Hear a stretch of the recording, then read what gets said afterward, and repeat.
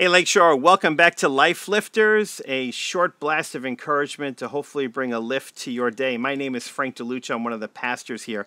And this week we've been taking a look at Psalm 139. And today we are going to wrap up by taking a look at verses 13 through 18. Again, Psalm 139 was written by King David of Israel. And in verse 13, uh, David writes this He says, Speaking of God, for you created my inmost being. You knit me together in my mother's womb. I praise you because I am fearfully and wonderfully made. Your works are wonderful. I know that full well.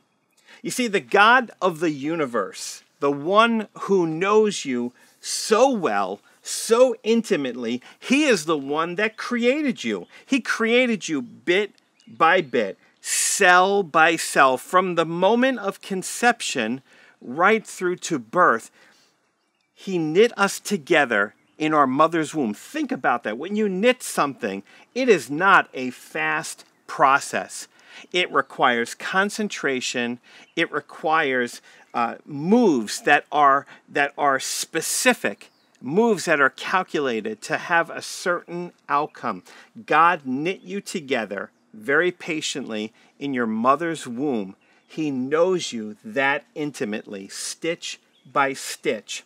And so when you consider how you're made, when you think about the complexity of your body, the way it works, um, knowing that, that God intimately spent time with us, putting us together, how could you not but worship Him? It is just such an incredible thought to me. And when I think about the sanctity of life, this passage for me speaks so much about how important life is, and that God will see in a moment how He has purpose and a calling on our lives.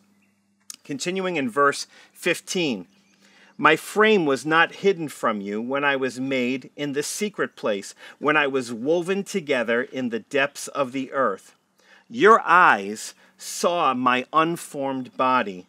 All the days ordained for me were written in your book before one of them came to be. See, God knew you before you were born. While you were being made, He was right there in the womb with you. You were known by God before a single day of your life came to be. See, life doesn't begin at birth, life begins at conception.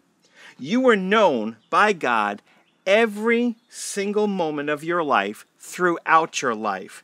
They were written in His book. He is writing the story of your life. Continuing in verse 17 How precious to me are your thoughts, God!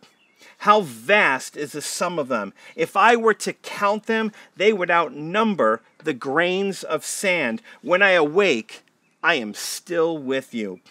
When you think about the way that God loves you, when you think about the depth of his love and the magnitude of his love, it is truly awesome.